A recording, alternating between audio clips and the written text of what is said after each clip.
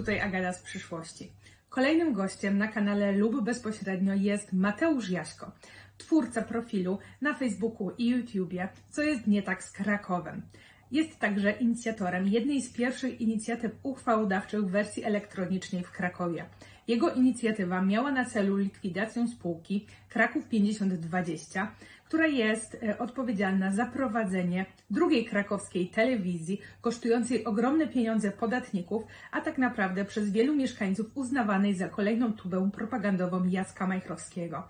O mediach samorządowych będziemy na tym kanale rozmawiać jeszcze nie raz, ale o tym nie dzisiaj jak napisać inicjatywę uchwałodawczą, jak tworzyć takie uchwały, które przynoszą realne efekty.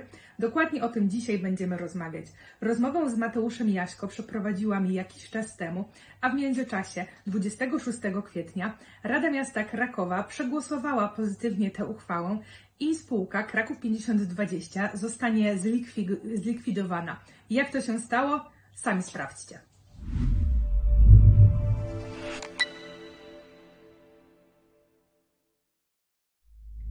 Cześć, Agata Kępa, kanał lub bezpośrednio, czyli kanał o demokracji bezpośredniej, gdzie uczymy Was i edukujemy i opowiadamy o tym, jak właśnie działać bezpośrednio i jak często działać oddolnie. Przypuszczam, że wielu z Was słyszało o inicjatywie ustawodawczej, ale jednak inicjatywy uchwałodawcze, do których też przecież mamy prawo, aż tak nie przybijają się medialnie. Pewnie też przez to, że nie są tak chwytliwe politycznie i trudniej tutaj o jakieś spory. Do inicjatywy uchwałodawczej w przypadku miasta, gminy powyżej 20 tysięcy mieszkańców wystarczy 300 podpisów. Takim przykładem jest Kraków. No i to właśnie w Krakowie Mateusz Jaśko, który dzisiaj jest e, ze mną, był jednym z inicjatorów takiej właśnie inicjatywy uchwałodawczej. Cześć. Hej, witam wszystkich. Tak. Mateusz Jaśko to aktywista, który właśnie odpowiada za jedną z e, inicjatyw uchwałodawczych, mieszkaniec, tak jak się właśnie sam też e, przedstawiasz, oraz twórca kanału na YouTubie i fanpage'a Co jest nie tak z Krakowem. Tak, mieszkaniec, nie polityk. Mieszkaniec i polityk. O to też właśnie tak, o to też dzisiaj e, będę e, pytała. I właśnie, byłeś jednym z członków Komitetu Inicjatywy Uchwałodawczej w sprawie likwidacji spółki 5020. To taki dość gorący temat przez ostatnie kilka miesięcy w Krakowie.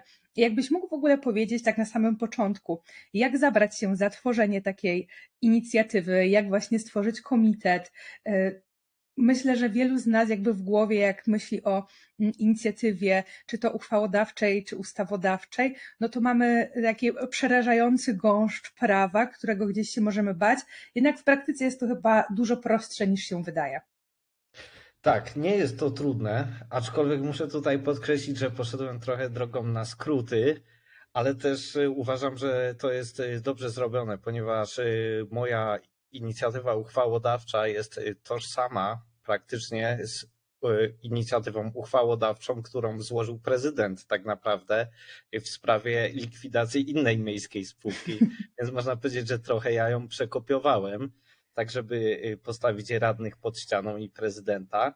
Ale tak, nie, nie było to trudne. Oczywiście ja muszę powiedzieć, że nie jestem tak jak wielu aktywistów osobą, która Y, ma wszystko ładnie poukładane albo w jakiejś grupie dużej, która pomaga. Ja raczej jestem y, kimś, kto idzie gdzieś tam, y, krzyknie, idzie na skróty gdzieś, więc pomógł mi w tym oczywiście mecenas Banszel, który zawsze pomaga jakby w sporach z miastem i w ogóle, ale też muszę powiedzieć, co byłem zdziwiony, że też pomogły wiele panie z Urzędu Miasta.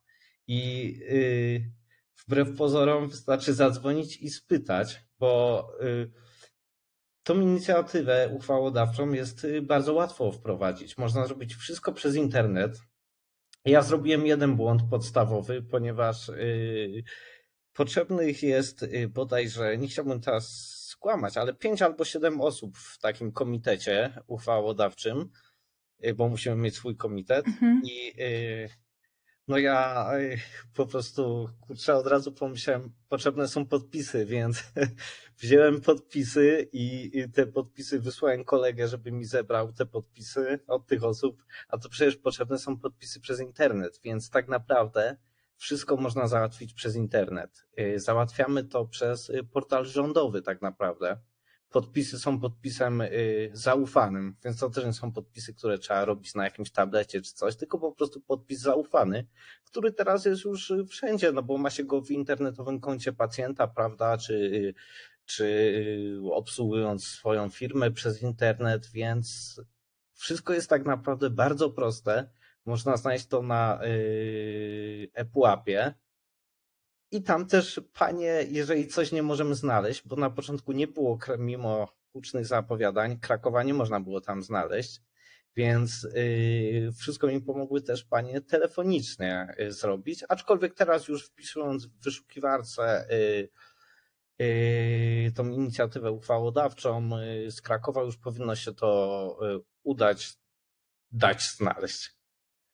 Tak, właśnie tutaj trochę uprzedzałaś, e, uprzedzasz moje następne pytanie, bo chciałam się zapytać e, o to, czy urząd albo właśnie jakieś inne gminne, miejskie jednostki oferują pomoc w przypadku takiej inicjatywy uchwałodawczej mm, i na co jakby tak uważać właśnie, jak jesteśmy nowicjuszami przy pisaniu takiej inicjatywy uchwałodawczej, żeby ona na starcie ze względów formalnych nie została odrzucona. To znaczy, przede wszystkim nie możemy wymagać czegoś, czego się nie da zrobić, prawda? Albo jeżeli e, piszemy o coś, e, co przed chwilą zostało wprowadzone, no to raczej nie ma szans, żeby pisać taką e, uchwałę, no bo ona i tak nie przejdzie. To po prostu to się mija z celem. Jeżeli chcemy pisać uchwałę, aby coś zmienić, powiedzmy, to lepiej jest zrobić coś jakby mniejszymi krokami, prawda? Jak na przykład, nie wiem, podajmy przykład, że jest Y, uchwała o parku kulturowym i chcemy tam coś zmienić, to nie możemy chcieć zmienić całej uchwały, tylko coś małego, prawda? Bo to i tak nie, y, po prostu nie przejdzie. No trzeba patrzeć, aby robić rzeczy najprościej zgodne z prawem. Bo jeżeli zrobimy coś, co jest niezgodne z prawem, to, to wiadomo, że nie przejdzie, prawda? Tak, no i właśnie ta Twoja inicjatywa uchwałodawcza mm, jest w mm, sprawie likwidacji krakowskiej spółki 5020. No i to jest druga taka inicjatywa uchwałodawcza w tym 2023 roku, chociaż nawet nie jesteśmy na półmetku 2023. No i co się stało, że właśnie padł pomysł na taką drugą inicjatywę i dlaczego ta pierwsza nie przyniosła oczekiwanych efektów? To jest tak. Y, ja już w sierpniu, kiedy się dowiedziałem o tym 1 sierpnia, y, że będzie taka możliwość robienia tego przez internet, już się śmiałem, że to jest idealne narzędzie do trollowania Rady Miasta. Więc napisałem już 1 sierpnia, że pierwszy, pierwszą inicjatywą uchwałodawczą, która będzie, będzie moja o likwidację spółki Kraków 5020.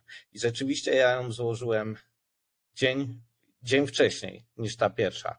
Mhm. Ona jeszcze nie była procedowana, więc nie można powiedzieć, że nie przyniosła skutku, ale ona jest uchwałą kierunkową, czyli uchwałą, która nie ma tak naprawdę żadnego znaczenia, żadnej jakby siły. Więc tak naprawdę ja uważam, że ona może być w pewnej kwestii nawet szkodliwa, bo prezydent może powiedzieć: OK, ja zlikwiduję tą spółkę, ale pierw przeprowadzę yy, jakieś powiedzmy yy, badania, czy, czy to będzie opłacalne a później powierzenia i że on się odniósł do tej. A y, ta, którą ja napisałem, jest uchwałą twardą. Ona zobowiązuje prezydenta. To jest Rada Miasta podejmuje uchwałę zobowiązującą prezydenta do rozwiązania tej spółki. To jest y, dokładnie tak samo, jak zrobiono z miejską infra, ze spółką miejską infrastrukturą. Czyli tu jest nie dość, że dla prezydenta twardy orzech do zgryzienia, no bo nie może odmówić, no to jeszcze jest y, przede wszystkim coś, co stawia pod ścianą Radę Miasta, bo jeżeli oni zagłosują za tą uchwałą lub nie, pokazuje w jakim oni są, oni tu się twardo muszą określić. Mhm. Jeżeli zagłosują za kierunkową, to prezydent może nawet powiedzieć swoim radnym, dobra, zagłosujcie za, machnijmy ręką i tak później tego nie ten, nie przepuścimy, bo mamy do tego prawo. Kiedy piszemy twarde uchwały, no to niestety, ale yy, muszą zrobić, no okazuje się, kto jest kim po prostu w Radzie. No właśnie, to, to też jest... Mhm. Za, zachęcam właśnie do tego, aby y, unikać jakby tych kierunków, bo mają moc sprawczą tak naprawdę petycji. Niewielką, praktycznie żadną, są takim nawet wyjściem ewakuacyjnym, takim zapasowym, jakby taką wymówką, czy dla prezydenta, czy dla rady. Dlatego jak coś robić, to tak, żeby, żeby rzeczywiście nie zmarnować tej szansy. E, no właśnie, bo to też jest chyba sposób na to, żeby przetestować trochę radnych, czy tylko mówią o tym, że za, za czymś się opowiadają, czy rzeczywiście jakby zagłosują, że tą e, uchwałą, która się pojawi. Tak, radni, radni lubią dużo mówić, ale pamiętajmy o tym, że radni, radni oprócz tego, że są jakby ich widzimy, są mieszkańcami, prawda, też rozmawiają z nami gdzieś na forach, na Facebooku czy coś, ale oni przede wszystkim są przegadywani przez urzędników. A urzędnicy, dyrektorzy, prezesi, tak jak prezeska spółki, jest dobrym mówcą, nie można jej tego odmówić. I ja przypuszczam, że ona stara się wpływać. No jestem prawie pewien, że ona się stara swoim y, zgrabnym mówieniem, zgrabnym, zgrabnym pokazywaniem danych, y, czy nawet manipulacją y, na radnych, i dlatego nie możemy polegać tylko na tym, że oni po prostu zagłosują za uchwałą, która tak naprawdę nic nie znaczy, bo oni sobie wtedy mogą, oni się będą gdzieś tam śmiać na papierosku w toalecie w urzędzie miasta czy coś, razem sobie rozmawiają, się śmieją. Pamiętajmy o tym, że miasto to jest trochę jak taka korporacja. Tam panują mody, tam panują znajomości, grupy, y, ludzie popularni, mniej popularni i do nich się bije, że tak powiem. Dlatego, jeżeli chcemy coś robić, to tak, żeby to miało ręce i nogi, tak, żeby to nie dawało wyjścia Radzie Miasta, żeby oni nie mieli wyjścia, żeby oni musieli to zrobić. Bo jeżeli się na przykład, wiele osób mi mówiło, że mm, moja Moja inicjatywa uchwałodawcza, ze względu na to, że jest twarda, będzie niezgodna z prawem. Ja, zamówi, ja jakby zamówiłem analizę prawną. Y, Urzęd, sprawdzili to też inni urzędnicy i wychodzi na to, że jest legalna, że jest zgodna z prawem i że wojewoda nie będzie miał powodu do uchylenia jej. Bo jeżeli by była niezgodna z prawem, to cały sens inicjatyw uchwałodawczych jest sensem żadnym, bo jeżeli mielibyśmy robić uchwały kierunkowe, to na Boga, to po co? Po co one są? One nie mają mocy sprawczej.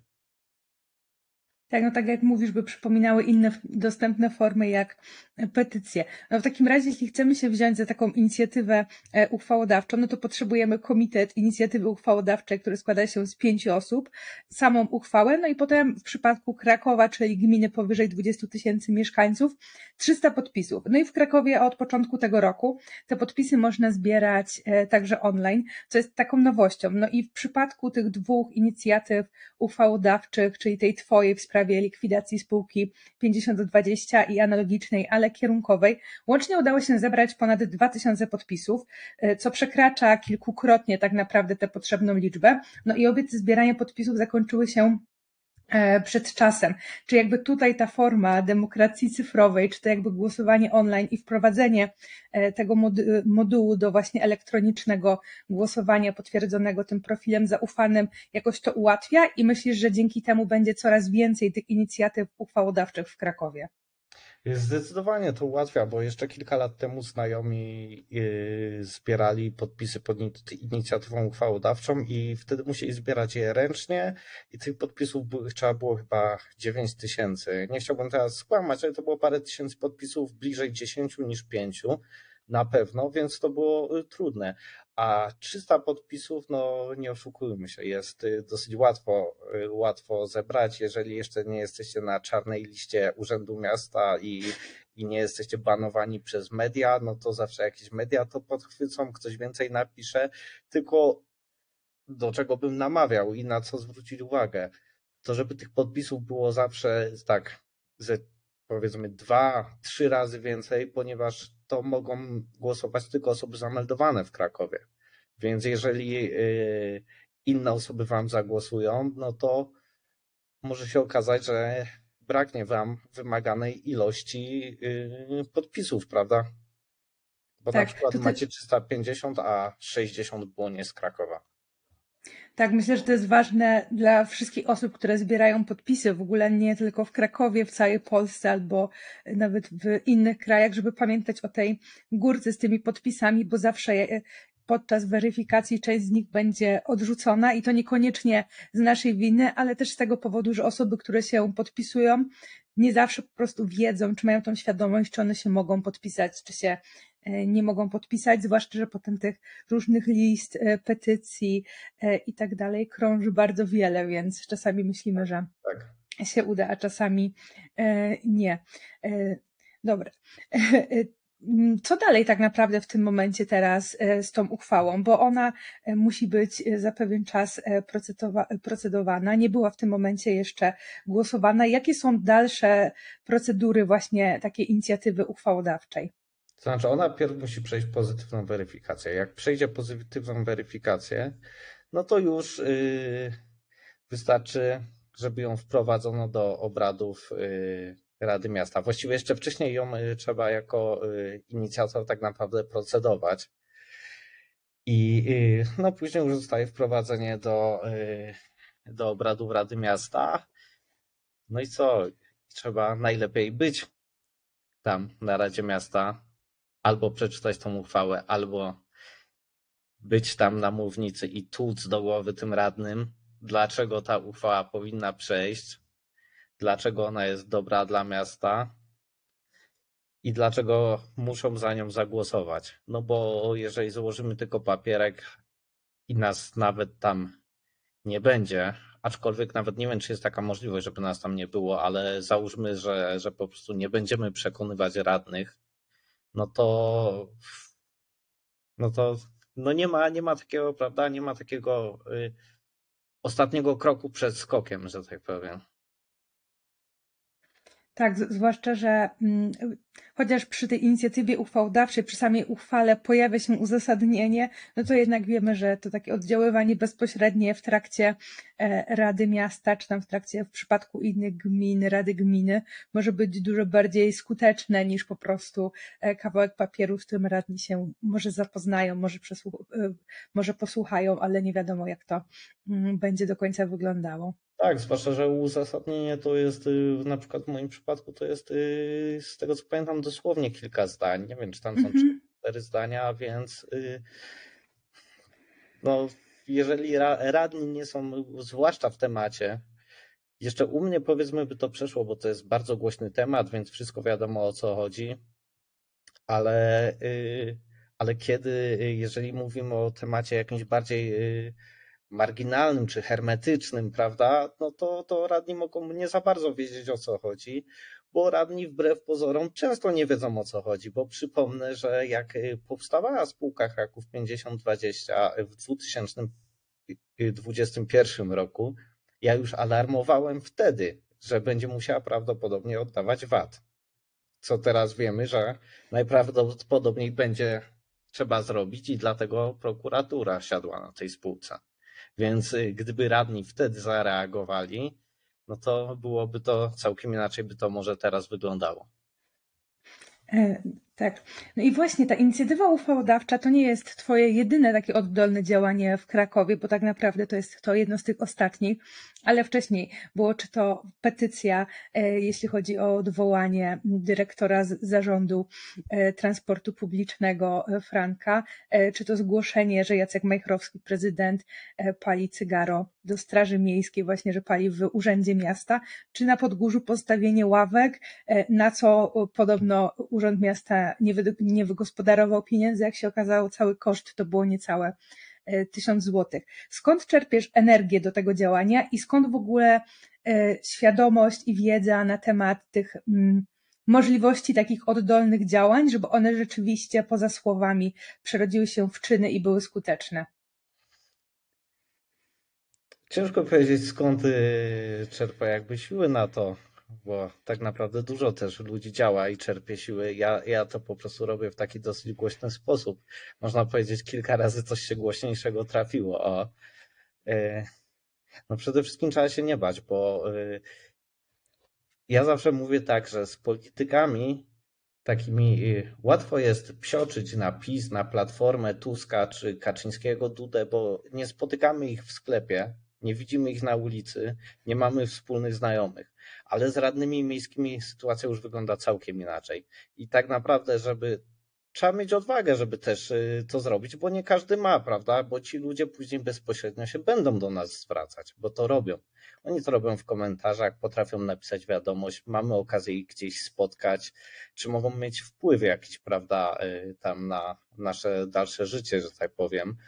Jeżeli ktoś, y, nie wiem, jest deweloperem czy coś, to mogą jakieś kłody pod nogi rzucać. Oczywiście już tak zupełnie abstrakcyjnie powiem, ale no różnie bywa, prawda, z tym, y, z tymi, y, z takim zapalnikiem. Pamiętam, jak zadzwoniłem y, z cygarem. Ja wiedziałem od roku, że prezydent tam pali i nie może palić. Ale mi to nie przeszkadzało, no mi się sobie pali tam, co mnie to interesuje. Ale miałem jeden, wstałem rano, przeczytałem, że Franek znowu coś tam zamknął na Kazimierzu, dyrektor ZTP. Więc yy, akurat się zdenerwowałem i w ciągu, nie wiem, chyba trzech minut wymyśliłem, że, że y, jakoś będę musiał y, to zrobić, żeby y, mnie nie okłamali w odpowiedzi. No bo tak, mogliby mi powiedzieć, że on tam pali, ale ma tam zrobione to, palarnie i w ogóle, prawda? Mhm. Temy oddymiania, wszystko działa idealnie, wszystko jest ok. No i ja tego nie mam jak sprawdzić. Dlatego postanowiłem, że nie zadam pytania w trybie dostępu do informacji publicznej, bo coś jeszcze wymyślą, zorientują się o co chodzi, więc szybko wymyśliłem wtedy właśnie, że zadzwonię jako podając się za izraelskiego konserwatora zabytków bodajże, już, już nawet nie pamiętam, chyba tak. I mówiłem, że tam jest, wisi nasz, nasz, nasz przepraszam, nasz obraz. I, no i to rzeczywiście wtedy siadło, wszystko powiedzieli. No ale prezydent, no jak jest, to, to widzimy wszyscy. Ile byłem? Rok temu chyba? No i dalej palił cygaro i Straż Miejska nawet nie zareagowała w tym. I no to pokazuje właśnie jak jest. Profesor prawa przez tyle lat łamie prawo i, i ten. Tak to wygląda. No i ma świadomość tego łamania prawa. Zresztą radna Małgorzata Jantus też skomentowała e, potem to samo palenie e, właśnie tego cygara, że się może do tego przyłączyć i z jednej strony miało być zabawnie, a z drugiej strony to też pokazuje poziom właśnie polskiej polityki, że ona skomentowała jednocześnie tym samym możemy razem łamać prawo z prezydentem i przecież się nic nie stanie. Oczywiście, oczywiście. To, to, to, to właśnie pokazuje absurd, bo y, pamiętajmy, że po prezydencie ktoś ten gabinet przejmie, prawda? A przecież y, tam jest tak, że się już wchodzi do tego korytarza. To odór po prostu już zabija. Tam trzeba będzie chyba wszystkie, a to jest zabytkowe, to jest zabytkowe miejsce, miejsce pracy i miejsce publiczne. Więc tak jakby trzy przesłanki są za tym, że on łamie prawo. I, i ten, i, i kurczę, no, ma to za przeproszeniem poważaniu, prawda? I on, i, i pani Jantos, która nie wiem, ale przypuszczam, że pewnie też korzysta z, z toalety obok sali obrad, w której wszyscy radni palą. Po prostu tam odór zabija. I, i, tak to wygląda. No są, zachowują się jak duże dzieci, za przeproszeniem. Można zejść na dół, nie ma daleko, nie trzeba tego robić. Ale tak, najgorsze jest w tym to, że, że ona rzeczywiście no, powiedziała nie wprost, ale y, nie pozostawiając żadnych złudzeń, że tak, prezydencie, chodźmy, będziemy razem łamać prawo, nic się nie dzieje, jest super. Przecież y, prezydent z tym cygarem w ręku przyjmował petentów, dmuchając im prosto w twarz, bo on ma taki obrzydliwy zwyczaj. I to byli petenci od nas, y, jakby jeszcze takie stowarzyszenie było, nic o nas bez nas, które działało i, i po prostu przyjmował ich tak dmuchając prosto w twarz, nie pytając o zgodę, czy może zapalić, bo jednak by wypadało, prawda? Już nawet jeżeli zakładam, że on się tam pali, jednak by wypadało spytać, ale gdzie tam? No i właśnie, jakby przy tych wszystkich działaniach mówisz o tym, że jesteś mieszkańcem, a nie politykiem, bo jednak występujesz gdzieś w opozycji do tych polityków, mówiąc im o tym, że mogą jakby więcej robić dla mieszkańców, no i żeby zwracali uwagę też na to, co robią. Jednak mm, biorąc pod uwagę to, że tak naprawdę angażujesz się w jakiś sposób w politykę i ją jednocześnie robisz, oczywiście w miarę możliwości mieszkańca zwykłego, nieradnego, nie, e, nie urzędnika, no to w jakiś sposób też właśnie e, tym politykiem pośrednio e, jesteś. I właśnie jak być takim aktywnym mieszkańcem w mieście państwie, jak sam nazywasz e, Kraków, jak działać, jakie możliwości daje nam same państwo, jakie możliwości daje prawo poza tymi, o których już tutaj e, mówiliśmy, żeby właśnie też tak oddolnie działać. No, największe możliwości daje nam zdecydowanie internet, ponieważ politycy się go boją, politycy nie umią, e, nie umią e, tak jakby zrobić sobie reklamy w tym internecie. To jest wszystko to samo. Ja się tak śmieję. Święto pizzy zrobią zdjęcie z pizzą. Święto konia to pójdą zrobić zdjęcie z koniem.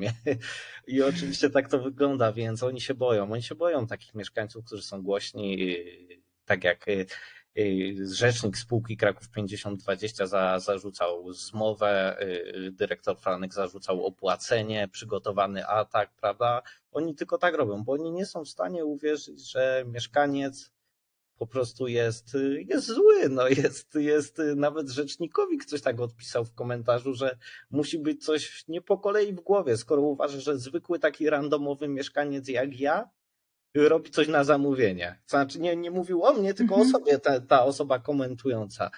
I ten, i według mnie to jest najlepsze, żeby właśnie działać sobie tak przez internet. Gdzieś tam nawet nie trzeba zakładać własnego fanpage'a, że tak powiem, ale właśnie komentować, pisać do osób. Do, do mnie dużo osób pisze. Bardzo dużo osób pisze. Ja nie zawsze odpiszę, bo też no nie zawsze widzę, później sobie gdzieś zapomnę, spojrzę, zapomnę. No niestety tak jest. Ale ale myślę, że to jest najlepsza forma działania, ponieważ tak naprawdę co radny może? Co radny może więcej od nas? My możemy przyjść na sesję, się wypowiedzieć, yy, no nie możemy głosować, prawda? Ale teraz, kiedy jest ta inicjatywa uchwałodawcza, to jest naprawdę, tak jak mówiłem, dobre narzędzie do trollowania Rady Miasta, ponieważ ostatnio jak wprowadzili podwyżki za parkowanie, to ja miałem pomysł, że ich stroluję i teraz zrobię inicjatywę uchwałodawczą obniżającą yy, te parkowanie, ale w międzyczasie się okazało, że trzeba będzie przestawić, więc póki co mają, mają chwilę odpoczynku, ale ten, yy, wydaje mi się, że to jest najlepsze. Tak samo do jakichś, do, do, dołączania do jakichś inicjatyw. Bardzo fajnie jest, jak działają ludzie sobie gdzieś na, w mniejszych grupach na osiedlach, bo wydaje mi się, że to jest najlepsze. Oczywiście na takich osiedlach są często osoby, które y, też oni chcą być jakimś, powiedzmy, tym głównym aktywistą. Głównym aktywistą na takim. To, to często zauważymy, ma odwrotny skutek, bo jakby tą resztę osób odpędza. Ale, ale zbieranie się w takich inicjatywach albo chodzenie na rady dzielnicy, bo o tym wszyscy zapominają, ja w nie chodzę, mówię od razu, ale ja tutaj research robię 2-4 na dobę w internecie, ale, ale chodzenie na rady dzielnicy, bo się może okazać, że dzisiaj, y, dzisiaj mamy pod domem ogród, a jutro będziemy mieli blok. Więc y, tak samo, no niestety nawet czasem to rady dzielnicy zaskoczy, więc y, nie wiem, chyba by trzeba BIPA cały czas y, oglądać, ale trzeba się interesować tematami, bo to, że tak już powiem taki przykład skrajny, ale w Krakowie się zdarzył nieraz. To, że dzisiaj macie dom albo działalność, kawałek parkingu czy, czy wasze działki, to nie znaczy, że jutro je będziecie mieć, bo wyburzono hmm, dwa domy bez wiedzy właścicieli, wyburzono ostatnio osadę bez wiedzy właściciela, bez komornika na miejscu. Y, mojemu koledze, y, mój kolega wybieg ma parking z samochodami, to jest jego działalność wybieg, kiedy kobieta mu sprayowała y, po chodniku i mówi do niego, to co pan nie wie, że został pan wywłaszczony? To właśnie dochodzi w tym miejscu do takich absurdów, więc yy, kurczę, no naprawdę trzeba się zacząć interesować trochę tym, co się dzieje wokół. No dobrze, dobrze, że są gazety, prawda? Dziennikarze robią robią dobrą robotę, zwłaszcza jak jest y, krowoderska, jest y, fajnie, jest y, no kiedyś tam Dziennik Polski, Gazeta Krakowska, trochę teraz oni są powiedzmy za pan brat z prezydentem, ale no niestety zawsze trzeba patrzeć na opozycję, bo opozycja prawda, raz jest nią, nie wiem, ktoś inny, raz ktoś inny, ale, ale no ona, ona jest tym takim narzędziem kontrolnym. Bo kurczę, no niestety tak jest, że nie wiadomo, czy ten park, który jest parkiem, jeszcze jutro będzie parkiem, albo nasze podwórko będzie naszym podwórkiem. Tak, czyli chyba najlepiej się po prostu interesować e, tą naszą najbliższą okolicą, a nie tylko wielką ogólnopaństwową polityką, bo trochę tak jest, że właśnie my możemy się nie interesować polityką, ale ona się zainteresuje nami, no i dużo częściej będzie nas dotykała właśnie ta polityka lokalna, bo to tak naprawdę dotyczy często naszych domów i mieszkań i nawet jeśli nie bezpośrednio tych czterech ścian, no to przecież mieszkamy w e, jakiejś okolicy, w której spędzamy tak naprawdę e, większość naszego e, czasu. Ja Tobie bardzo dziękuję za rozmowę. Ze mną na... jakbym mógł tak? na koniec, to powiem, że y, zdecydowanie powinni ludzie jednak walczyć o swoje, bo y, słuchajcie, to po prostu i tak fajna zabawa. To nie jest tak, że ten, że ktoś będzie wytykał palcami, że, że tutaj się wstydzi, że jeszcze wbrew pozorom się trzeba wstydzić, że wychodzimy przed szereg. Nie, to są ludzie, którzy zostali wybrani przez nas, a jeszcze gorzej z tymi urzędnikami, za których my płacimy i po prostu, wiecie, no starajcie się ich krytykować, jeżeli się im należy, chwalić, jeżeli się też im należy, ale przede wszystkim kurczę, no pokazujcie, że jesteście ludźmi twardymi, z którymi nie ma co zaczynać. Niech się, niech się liczą z nami. Bo przez te lata rządów Majchrowskiego o tym zapomnieli, że z mieszkańcami się powinni liczyć.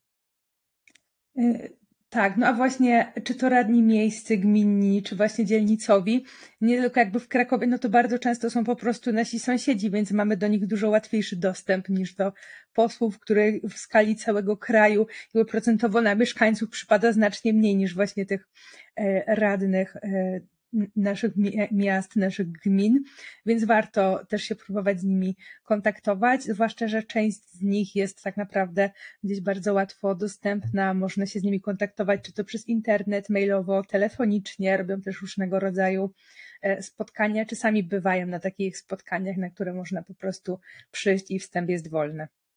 Przede wszystkim na Radę Miasta można chodzić. Jeżeli coś dotyczy naszej okolicy, nawet nie konkretnie naszego podwórka, że tak powiem, ale okolicy to lepiej iść i się wypowiedzieć, bo to nic nie boli. No rzeczywiście trwa to nieraz cały dzień, bo to idzie jak krew z nosa tam, ale, ale zdecydowanie lepiej jest się iść powiedzieć, co się o tym sądzi, niż później sobie pluć w brodę, bo no to jest ta stara prawda, że no jeżeli dzisiaj ciebie nie, nie, nie wiem, tobie coś nie zrobi, nie znaczy, że jutro tego nie zrobią, prawda? Że tylko na twoim sąsiedzie skończą, że tak powiem.